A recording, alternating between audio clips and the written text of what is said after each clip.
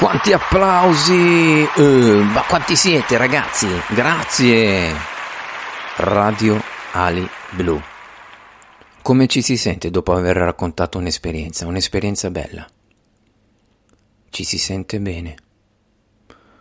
Raccontateci quell'esperienza perché a volte riviverla con un racconto a qualcuno può renderla magicamente eterna. Durante il giorno ascoltiamo tante parole, siamo bombardati di messaggi, di parole che destabilizzano il nostro stato d'animo. Qua a Radio Ali Blu vogliamo sentire parole belle e attendiamo le tue parole belle. Radio Ali Blu, la radio che ti fa volare.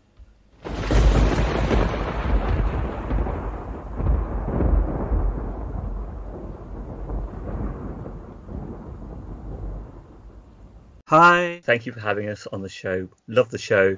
Um, I'm My Guy Monkey from My Guy Reviews. I'm My Guy Brig. Uh, we have our own podcast. We talk about pop culture related topics. Each week we bring a new topic to the table. A bit like your own. So if you're looking for more content like this when you're done, head over to My Guy Reviews. We talk about movies, video games, fant- fighting fantasy books, TV shows, and as much as My Guy Monkey hates it, we talk music as well. Type in the word My Guy Reviews at Spotify, YouTube, and your podcast service of choice.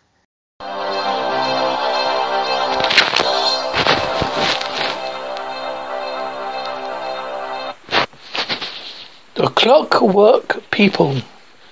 Wild Man Strokle knew about magic in his toy shop. It whispered in his ear and went dancing breezes to tickle his nose, even when the doors and windows were closed. The customers entered the building. The magic settled on their cheeks in a warm glow. Most adults wrote it off as a happy childhood memories brought on by the colourful toys, but the children knew better. They stared at Strutzel with wide eyes, and he could wink. He would wink. Whirls and clicks filled the shop, for Strutzel had bestowed the gift of movement to every toy. Tin cows kicked over the tin pails of anguished tin. Milkmaids, miniature trains belched steam as they rushed across tiny tracks. Engines and horseless carriages, sea-sized for mouse drivers, chugged and chunk, chunked, with curious children cranked the front handles. Children's toy was only complete when the shop was full of happy children. He'd wrap up one toy after another, whispering a blessing for with each as he sent them off to new homes. The toy shop was located in a large village built around a great factory with giant rows of snow snacks and belched black clouds into the heavens. The company was owned by a kind man who cared for people and made sure each employee was paid fairly and not overworked. Paydays tired factory workers stepped to a cozy shop on the way home to choose toys for their children. Most days, Schitzel created many toys at once.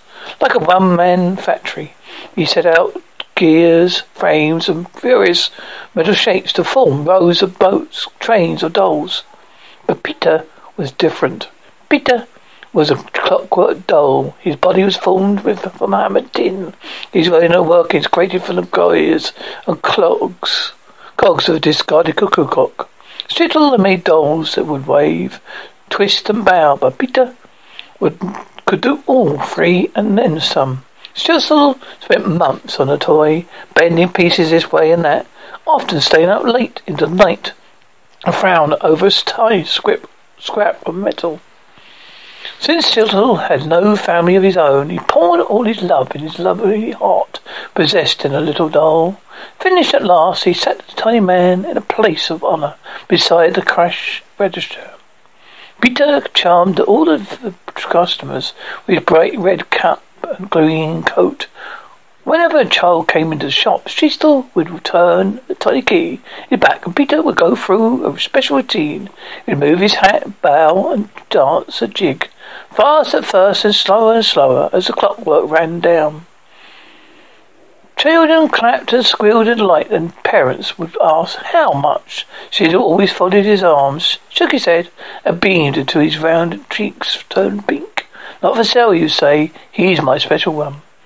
He had almost created Coretta, his clockwork woman, when he noticed a change in Peter. Sometimes he turned the key. Peter's antics went on after clockwork wound down. Occasionally the toy would give an extra bow, wave. When Stitchell was alone in the shop, working on Gretel's parts, he'd hear a tiny, quiet creak. He'd look up to see Peter's tiny face turned towards him, his shiny painted eyes, eyes gazing at him, an extra twinkle. Stitchell hadn't edited with a brush. Adjusting the setting of his workman goggles, the old man always checked the toy over to see if he overlooked a flaw causing these strange movements. A magic tickled in the back of his mind, reminding him of its presence. Did Greta progressed much faster than Peter, being Strauss's second doll of the kind. By the time he put the finishing touches on her blue milk-maid dress and formed a blank flower of golden metal curls, Cecil could no longer deny the truth. The magic of the toy shop had settled into Peter's tin heart. Peter's tin heart. Cecil wasn't frightened when he clanked over to the ta- tabletop on him and made a bow and deep his cap almost brushed the wooden top surface. After all, the toy shop was a place of joy and happiness, and therefore could only create good magic. From then on, when Sister polished and painted and tweaked, he would hear little snaps and creaks, and look up to see Peter standing beside him, watching in apparent fascination. The came a night he placed a complete Greta beside Peter. Peter placed a hand on Greta's tin shoulder. Shoulder made a creaking sound. Cecil's eyes widened. Though quiet, the doll had clearly said hello. A shudder uh, ran through Greta's to inform. Her head turned. Hello, she creaked back. Peter took Greta's hand. Together they bowed before Street Cecil. Father, they said in unison.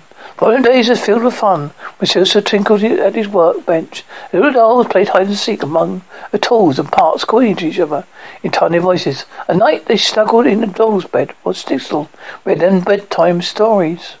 When customers came into the shop, they would play dollies, as they call it, entertaining the children with their funny routines. Pete parents begged Stixel for a price he would always refuse. How could he sell his children? One day a dark cloud settled over the town. Factory owner had cared so much for his workers died. A wealthy man from a land far away purchased a factory for the family of the deceased. Whispered stories began to drift through the street about injuries from faulty machinery. Wages began to spiral down, and those who complained were fired and set out into the street. Workers trudged by Cecil's toy shop, weary feet with no extra coins in their pockets for such trivial things as toys.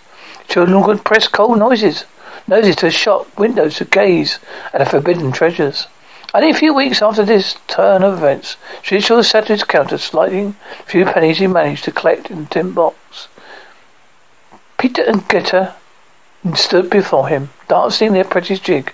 He forced himself to smile. What did they know of this cruel world?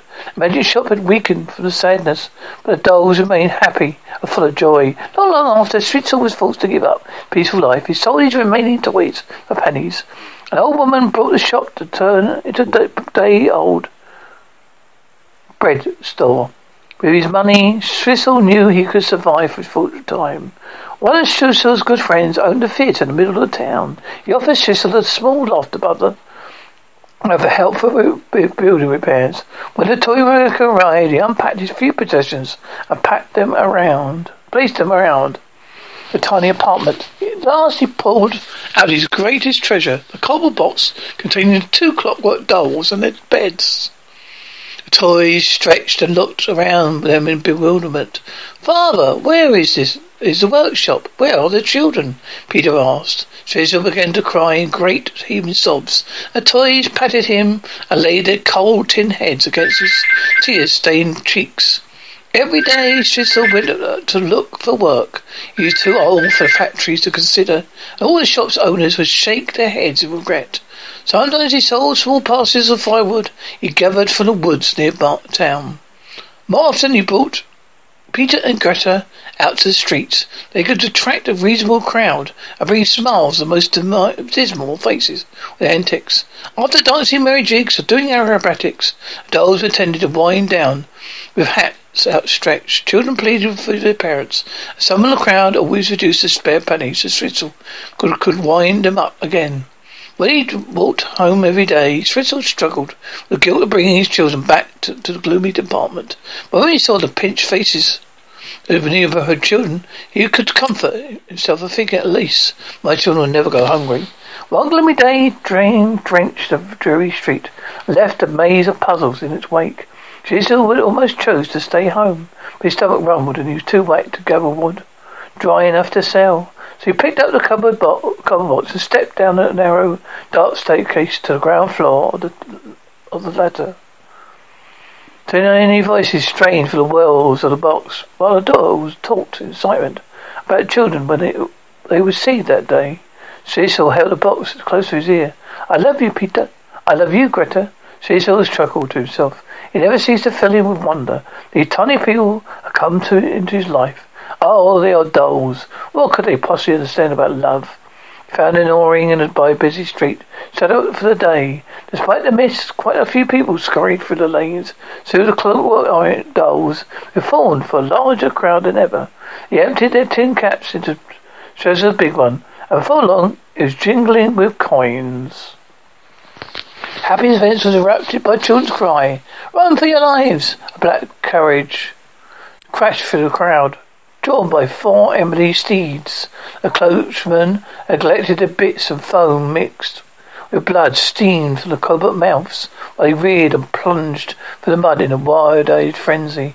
People screamed and scattered. Squadrons dolls stood in the middle of the street where they had been kicked by frightened children's feet. Children pleaded from the side, Come to me, come, my children. But they could not hear for this madness. Hand in hand they ran, ran in the wrong direction. Under the wicked wheels of the carriage, the carriage clattered away and the street cleared. No one saw old man Switzel when he bent to collect the broken parts of his dolls. He trudged home, cleaned the mud from the twisted pieces of tin as best as he could, placed them back into the cardboard box. He decided to bury them in a quiet place after raining stopped. The air in the room rested on his shoulders like a leaden shroud. Every spark of magic had been sucked away. Now I have lost everything, he wept. Next morning, Dawn poked a cold finger the apartment's single small window. A scratching sound came from the box. Not a rat, he howled. This is uh, that's the absolute worst. Picked up box with intent to fling the filthy animal against the wall. A breezy bit of magic swirled past his face and flew over the top of the lid. Peter's shiny brown eyes stared up from the box.